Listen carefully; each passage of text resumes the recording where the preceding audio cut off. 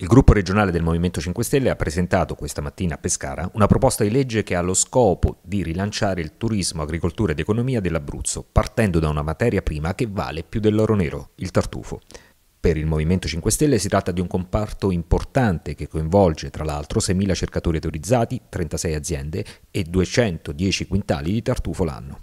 La proposta del Movimento 5 Stelle è quella di istituire nel nostro territorio le città del tartufo per permettere successivamente di dar vita anche alle strade del tartufo.